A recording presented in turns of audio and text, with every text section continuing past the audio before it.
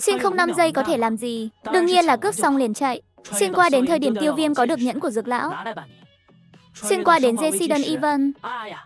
Chạy mau, có Sambi muốn giết ta. Ở trong hư không, một quả cầu màu vàng đang cấp tốc chạy như điên.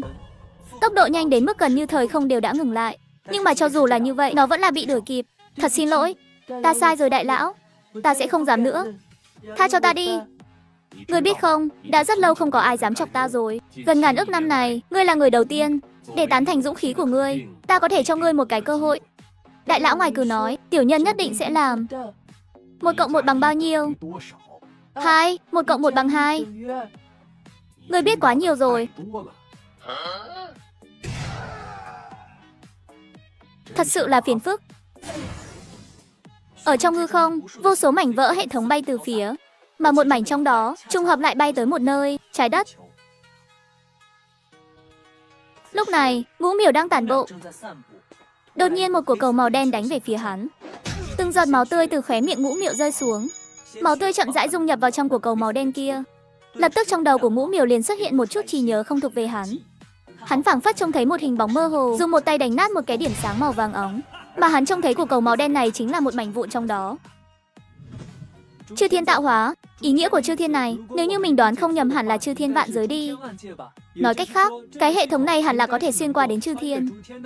Cũng không biết là tàn phiến này còn có cái năng lực đó hay không. Trong lúc ngũ miểu còn đang suy nghĩ tới xuyên không, bên trên tàn phiến bất chợt lóe ra một đạo ánh sáng nhàn nhạt, nhạt. Trong phút chốc cả thế giới đã hoàn toàn biến đổi.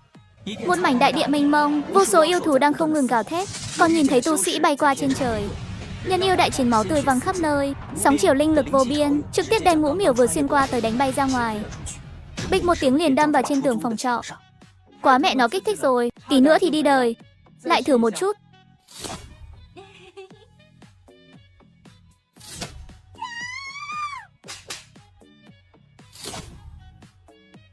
Thời gian chỉ có thể là 5 giây sao? Lại nói 5 giây có thể làm gì?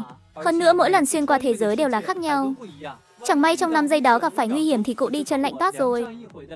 Nhưng mà thật vất vả mới có một cái bảo bối như thế. Không thể nào không dùng được. Hoặc là hồng phúc tề thiên, hoặc là minh phủ địa yên. Sợ cái cây búa. Xuyên không.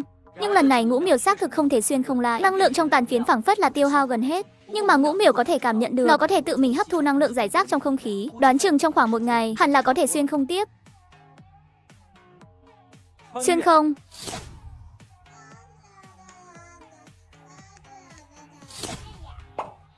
Va phải người rồi, những quả này đều chưa từng gặp qua. Hẳn là đặc sản của thế giới này. Vậy thì cuối cùng là mình có cướp hay không đây? Lấy mấy của hẳn là không có vấn đề lớn gì đi. Nhưng mà cứ như vậy lấy đồ của người ta xong chạy cũng không tốt lắm. Trong lúc mũ miều đang cảm thấy do dự thì đã hết thời gian. Mũ miều nháy mắt chính là biến mất ngay tại chỗ. Cô bé bị đụng vẻ mặt vô cùng nghi hoặc. Người vừa nãy đâu? Làm sao trong nháy mắt liền biến mất rồi? Mình mẹ nó vậy mà do dự. Một cơ hội cứ như vậy lãng phí mất. Nếu muốn góp nhặt đầy đủ năng lượng, thì lại phải chờ ngày thứ hai rồi. Xem ra sau này phải hào hào nghĩ lại. Làm việc không thể do dự. Dù sao mình chỉ có 5 giây. Nhưng mà đúng vào lúc này, một cổ màu đỏ lại là từ trên người hắn rớt xuống. Cổ này tản ra từng tia từng tia khí tức thơm ngọt. Hơn nữa ngũ miểu có thể cảm nhận được rõ ràng bên trong có một tia năng lượng ba động. Có thứ đồ tốt này, tao sao có thể ăn một mình chứ? Vượng tài mày qua đây một chút, hai ta mỗi người một nửa. Vượng tài rất vui mừng liền đem của ăn. Sau đó hai chân đạp một cái trực tiếp liền nằm thẳng cẳng trên mặt đất. Vượng Tài, Vượng Tài, mày không sao chứ? Tao không thể không có mày được. Lần sau nếu lại có quả, tao không có con chó thứ hai đâu. Vượng Tài mày tỉnh lại đi, mày không thể chết được. Thì ra là ngủ rồi. Mình còn tưởng rằng đêm nay có lẩu thịt cầy nữa chứ. Vượng Tài nhìn thấy mày không sao thì tao yên tâm rồi. Ăn quả xong ngũ miều cảm thấy có một dòng nước ấm chảy đến trong thân thể. Cả người đều phảng phất nhẹ nhõm không ít. Sau đó thì không còn sau đó nữa. Xuyên không?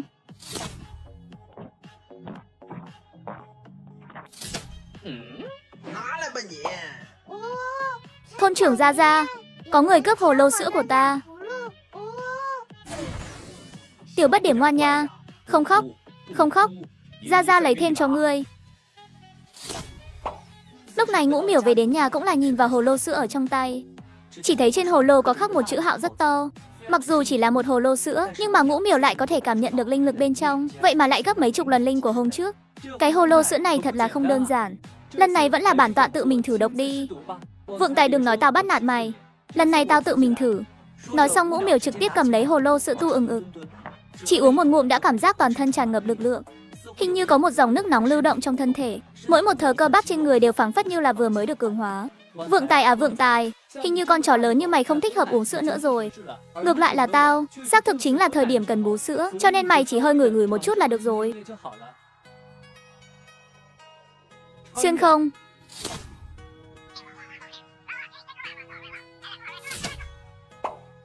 Vị huynh đài này, ngươi là ai vậy? Bản đồ ăn này thế nhưng là của bọn ta, ngươi có phải là đi nhầm chỗ rồi không? Ta là ai? Một hồi ngươi liền biết thôi. Đừng khách khí với ta, ăn ăn ăn, bữa này ta mời. Đồ ăn này bọn ta một miếng còn chưa kịp gắp. Ngươi mẹ nó ngay cả cái bàn cũng lấy đi. Còn nói ngươi mời, ngươi mẹ nó bá vương ăn chùa cũng quá trâu rồi đi.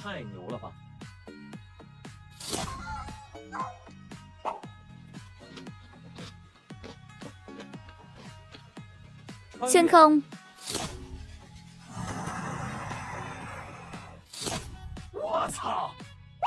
Có zombie, cứu mạng. Trong 5 giây này ngũ miểu chạy sắp mặt lờ. Xuyên không?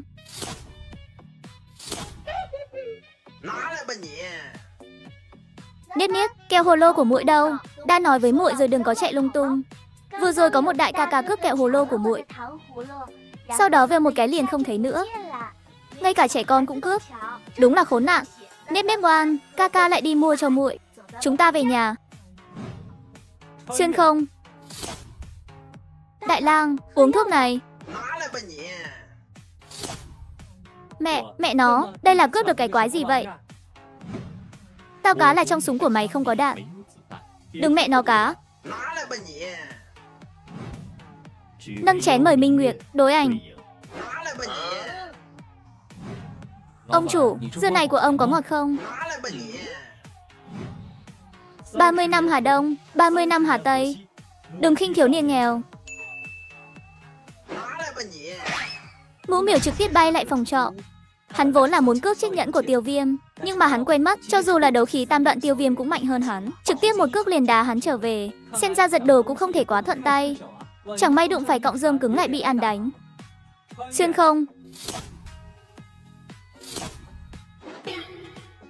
Tự tiện xông vào nữ đế cung, tiêu tặc gan chó của người thật lớn. Người đau rồi? Đao của ta làm sao cũng mất rồi. Ta tích lũy linh thạch 3 năm mới mua được huyền khí phối đao thượng phẩm mà.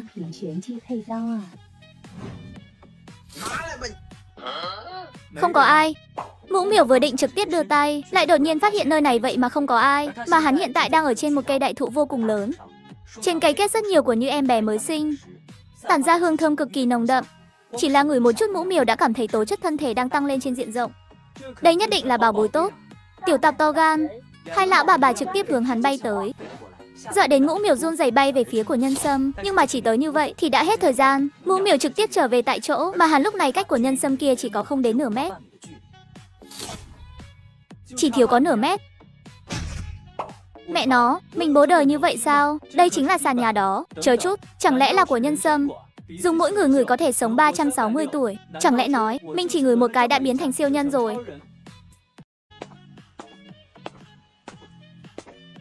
Vũ miểu, tiền thuê phòng của cậu tính khi nào trả? Đã quá nửa tháng rồi, còn không trả thì cậu ngủ ngoài đường đi.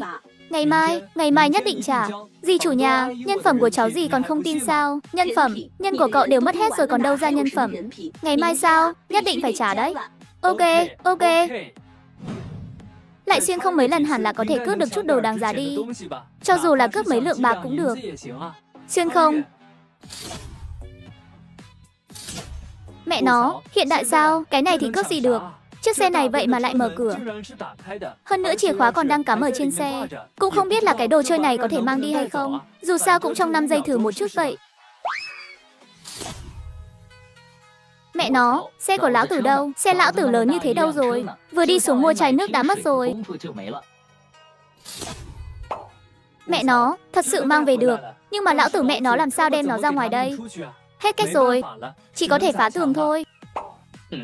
Xe này của Diệp Phàm sao? Chắc là không phải ở giá thiên kia chứ. Diệp Phàm sao có thể ngu đến mức chìa khóa xe cũng không rút. Mặc kệ hắn là cái gì Phàm, dù sao hiện tại xe là của mình rồi. Ngũ miểu trực tiếp tìm một cây búa trong 5 phút đã phá tường ra. Trực tiếp liền lái xe ra ngoài. Ra ra, Tôn tử của ngài gọi điện thoại cho ngài. Vậy, ai vậy? Ngũ miểu, cứu mạng. Bố mày gặp nạn rồi. Ở nhâm gia thôn có cương thi. Cút đi, tao không có thằng con bất hiếu như mày. Gặp nạn thì mày tìm cảnh sát đi. Mày tìm tao có cái dám dùng à? Chỗ nào mát thì đợi ở chỗ đó đi. Tao cúp đây. Ngũ miểu, Mày mẹ nó mau tới đây cứu tao đi. Anh trai ở nóc nhà bên cạnh đã ngủ rồi. Đoán chừng tao cũng trốn không được bao lâu nữa. Nếu như mày không tới cứu tao, Vậy sau khi tao chết nhất định đi tìm mày. Báo cảnh sát đi. Loại tình huống này tao qua đó cũng là nộp mạng. Bọn họ không tin tao. May mẹ nó nói có cương thi bọn họ tin được mới là lạ. May mẹ nó phải nói là mày phát hiện có người đang giao dịch mai thúy. Đại khái mấy chục người, còn mang theo súng ống. Mày bây giờ đang bị truy sát. Trốn ở nhân gia thôn, để bọn họ điều ngay lính đặc trùng tới. Nhớ kỹ nói với bọn họ là địch có hỏa lực rất mạnh, để bọn họ mang thêm mấy vũ khí hạng nặng. Đã hiểu chưa? Mẹ nó, con có thể nói như vậy. Vẫn là miều ca của tao đáng tin, tao lập tức gọi điện thoại. Mẹ nó, điện thoại của tao sắp hết pin rồi, 10 giây tắt máy. Miểu ca cứu tao. Cái này, mẹ nó không xong con bê rồi sao?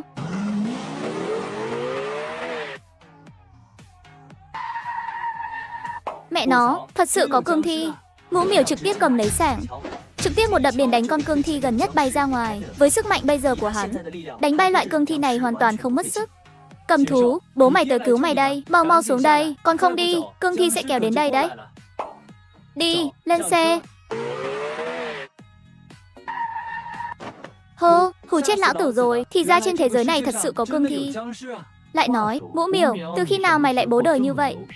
Cũng không xem một chút bố mày đây là ai. Lúc trước là tao khiêm tốn. Chẳng qua chỉ là muốn lấy thân phận người bình thường kết giao bằng hữu với bọn mày mà thôi. Ngay tại lúc hai người còn đang tàn gẫu, một đám cương thi mặc đồ thời nhà Thanh lại đang nhảy tới. Mẹ nó, sao vẫn còn nữa? Xem ra chỉ có thể liều mạng thôi. Cầm lấy, nhớ là đừng để bọn nó lại gần đấy. Vậy còn mày, tao, tao tùy tiện thôi. Nói xong mũ miểu trực tiếp rút ra thanh huyền cơ bảo đao kia Trực tiếp đi lên một đao liền chặt một con cương thi Cái này không khoa học Cầm thú mình tài năng ngút trời Vậy mà một đập xuống ngay cả da đều không hề hấn Nhưng mà lúc này ngũ miểu lại là đại phát thần uy Mấy đao hạ xuống Mấy con cương thi này nháy mắt liền bị giải quyết Hơ hơ, đặc sắc Quả nhiên là một thanh đao tốt Khiêu thi trăm năm này của ta mình đồng ra sát Cho dù là đạn cũng không xuyên thủng được nhưng mà ở dưới đao của ngươi vậy mà cứ như là đậu hũ. Quả nhiên là đào tốt. Đáng tiếc vậy mà lại rơi vào trong tay một tên phế vật như ngươi. Thật sự là thần vật bị long đong. Làm sao? Ngươi còn muốn cướp của ta sao? Bọn ta và ngươi không thù không oán. Ngươi vì cái gì đuổi theo bọn ta không buông? Hơ hơ, đã biết được ta nuôi thi luyện thì các ngươi còn chạy được sao? Nhâm gia thôn đều đã tuyệt hậu rồi Ngươi cảm thấy ta sẽ bỏ qua các ngươi sao? Nói như vậy là không có thương lượng rồi Vậy thì theo quy củ giang hồ một đối một đơn đấu đi. Cái thứ không có chỉ tiến thủ Thật làm cầm thú mất mặt. Hừ, con thật sự cho rằng ta sợ ngươi sao? Nhưng mà ngũ miệu không có chú ý tới chính là Một con hạc giấy màu vàng. Vậy mà không biết từ khi nào bay đến phía sau hắn Sau đó biến thành một luồng ánh sáng Trực tiếp lao vào thanh đao trên tay ngũ miểu Trường đao theo đó rơi xuống Mà người áo đen tay kết pháp quyết trường đao nháy mắt bay lên Trực tiếp liền rơi vào trong tay người áo đen. Hơ hơ, tiêu tử ngươi không biết phản diện chết bởi nói nhiều sao? Nếu không phải kiêng kỵ thanh đào trong tay ngươi Ngươi cảm thấy lão tử sẽ cùng ngươi nói nhiều như vậy sao? Phản diện chết bởi nói nhiều cái này ta biết Nhưng mà hai ta rốt cuộc ai là phản diện? Ha ha ha, bây giờ ta xem ngươi còn đấu với ta thế nào. Không có thanh đao này ngươi chẳng là cái thá gì. Súng, súng ở đâu ra? Ngươi muốn hù dọa ta? Hoa hạ cầm súng Ngươi thật sự cho rằng lấy ra một khẩu súng đồ chơi liền có thể hù dọa ta sao? Mẹ nó, súng thật, đây không có khả năng, hoa hạ làm sao có súng. Nhặt bảo đao lên, ngũ miểu trực tiếp hai đao liền chặt hai con cương thi kia. Sau đó trực tiếp dùng đao gác ở trên cổ người áo đen.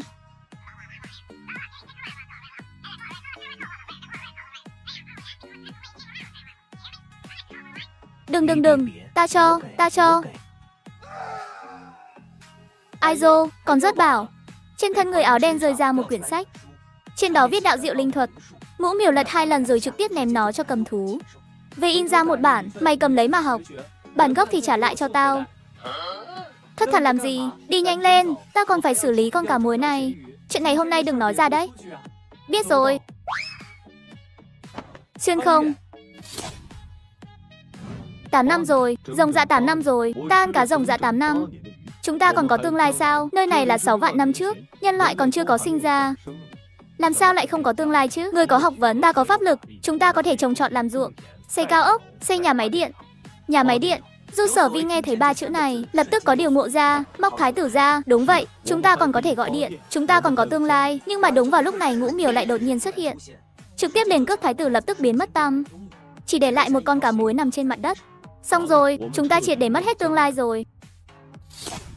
Sao lại cướp được cái điện thoại vậy? Cái đồ chơi này có tác dụng gì? Lại còn là hàng đời cổ. Điện thoại di động này cục gạch còn tốt hơn nó. Đúng vào lúc này, một quả cầu màu đen bay ra từ trong cơ thể ngũ miểu. Trực tiếp đụng nát điện thoại di động. Lập tức một chuỗi thông tin kỹ thuật số màu vàng hiện ra. Những con số đó chui vào mảnh vỡ hệ thống. Lập tức trong đầu ngũ miểu liền xuất hiện một giọng nói. Hệ thống thái tử vì ngài phục vụ. Hệ thống thái tử, Thái tử là phần mềm, mảnh vỡ hệ thống là phần cứng. Hệ thống thái tử chính là sản phẩm kết hợp của cả hai có tất cả công năng của thái tử và mảnh vỡ hệ thống. Nhưng xuyên qua thời không bởi vì thời không khác biệt, cho nên không cách nào làm được tùy ý xuyên không. Vẫn như cũ chỉ có thể xuyên không chư thiên vạn giới 5 giây, nhưng mà số lần biến thành mỗi ngày hai lần. Đồng thời thái tử mang đến lượng lớn thời không chi lực, có thể để chủ nhân tiến hành xuyên không một lần trong vòng 3 ngày. Thời không chi lực vô cùng quý giá, đại lượng thời không chi lực có thể tiến một bước cường hóa hệ thống thái tử. Cho nên xin chủ nhân thận trọng sử dụng. Không đúng, nếu đã có thời không chi lực, làm sao vẫn là xuyên không 5 giây chứ? 5 giây xuyên không là công năng mảnh vỡ tự có. Tiêu hao chính là năng lượng không gian giải rác, không phải thời không chi lực. Cho nên nói, mặc dù đều là xuyên không, nhưng mà nguyên lý cũng không giống nhau. Thái tử hệ thống tạm thời không cách nào phân tích rõ nguyên lý. Cho nên muốn xuyên không thời gian dài, chỉ có thể tiêu hao thời không chi lực. Nếu nói như vậy, hôm nay mình còn có một lần xuyên không nữa. Đúng vậy. Xuyên không, Lá bài cơ lâu che giấu đi sức mạnh hắc ám. Ở trước mặt ta biểu hiện ra sức mạnh thật sự của ngươi đi. Ta lấy thân phận chủ nhân ra lệnh cho ngươi. Mẹ nó, bài của ta đâu? Đây chính là đồ tốt nha. Nhìn qua hình như là phong bài. Cái này không tồi, vận may của anh đây vậy mà tăng lên rồi. Thái tử, đem 500 vạn trong thẻ ngân hàng của ta vận hành một chút. Làm cho lai lịch của nó trông hợp pháp một chút. Vâng, Sống nhiều năm như vậy cuối cùng cũng ra dáng con người rồi. Về nhà thôi, cũng không biết mẹ dạo này thế nào rồi. Ngũ miểu trên đường đi về nhà. Đúng vào lúc này, một đạo thân ảnh màu vàng ngăn ở trước mặt ngũ miểu. Chàng trai trẻ, ngươi thấy ta giống người hay là giống thân? Mẹ nó, hoàng thử lang thảo phong. Can you speak English? Đây mẹ nó ngươi đừng nói ngươi không phải người da vàng. Ngươi mẹ nó cùng ta nói tiếng Anh. À, cái này. Ưu. Lúc. Mi. Like person or like God. Ngươi đúng là biết nói chuyện. Ngươi mẹ nó biết nói tiếng Trung. Nói thưa, ta người Hoa chính tông sao ta lại không biết nói tiếng Trung. Ta chính là muốn biết ngươi có thể nói tiếng Anh hay không mà thôi. Đi đi ngươi. Mẹ nó. Tiểu tử ngươi không giảng võ đức. Ngươi chờ đó cho ta. Ta nhất định sẽ trở về. Thật sự là, ngươi là trồn chứ không phải là sói xám. Còn nhất định sẽ trở về. Chờ ngươi trở về hãng nói đi. Mũ miểu à, con nói xem con cứ ở nhà mãi như vậy cũng không làm gì. Lúc nào mới ra ngoài tìm một công việc vậy? Con mới trở về một ngày mà. Có con ở nhà mẹ không có cách nào triệu tập nhân thủ chơi mặt trược. Vướng tay trừng mắt. Con nói xem sao con cứ không có tiền đồ như vậy. Nấu cơm cũng không nấu, việc nhà con cũng không làm, kiếm tiền con cũng không có kiếm bao nhiêu, con không bằng đi ra ngoài lượn mấy vòng tìm bạn gái. Tiền thì con phế rồi, nhưng mà tốt xấu gì cũng sinh cho ta một đứa cháu đi chứ. Ngũ miểu không nói nhiều trực tiếp lấy điện thoại ra mở tài khoản ngân hàng kiểm tra. Trực tiếp đem 500 vạn đưa ra. Mẹ nó, nhiều số không như vậy. Hàng chục hàng trăm ngàn vạn, 500 vạn. Mợ nó con cướp ngân hàng à? Cướp ngân hàng, con của mẹ là cái loại người này sao? Không phải sao? Cái này đều là kết quả nỗ lực của con. Mỗi một phân tiền đều hàng thật giá thật. Không tin mẹ đi hỏi cầm thú. Mẹ cứ cho là con tự kiếm đi. Không để lại dấu vân tay là được. Sau này cứ nói như này, đây chính là do con tự kiếm. Khoe với mẹ xong ngũ miều liền trở về phòng. Hắn có dự cảm hôm nay nhất định có thể cướp được đồ tốt. Xuyên không? Cứ như vậy anh hùng đánh bại ba con trai của ma vương. Lỗ mãng, kiêu ngạo và tham lam. Nhưng mà ma vương thực tế là quá cường đại. Cuối cùng, cuối cùng anh hùng. Lão cha thối. Con rốt của cũng biết tại sao cha luôn luôn không kể hết câu chuyện rồi. Thế giới này nào có anh hùng không bị thua chứ? Xưa nay con đều không cần một anh hùng không bị thua. Con chỉ là hy vọng cha có thể tỉnh lại thôi. Lão cha thối, lão cha thối. Cha không sao chứ?